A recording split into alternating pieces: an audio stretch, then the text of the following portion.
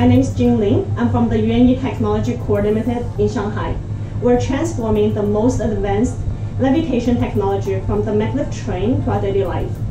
By levitating the products, we can help the clients to attract uh, people's attention and therefore increase the brand limit.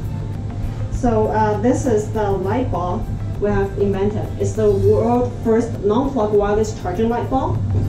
And uh, this has been used in the Queen Elizabeth's birthday party and also the World Economic Forum.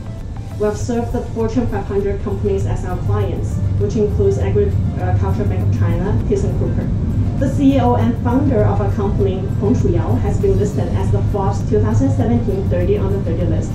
We're now raising money to invent a super stable and controllable levitation system, which can be applied in the display, education, and industry field. Thank you very much. So this is the light bulb.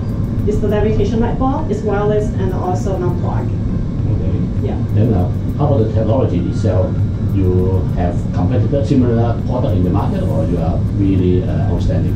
We're really outstanding because we have like wireless non-plug, Right, right.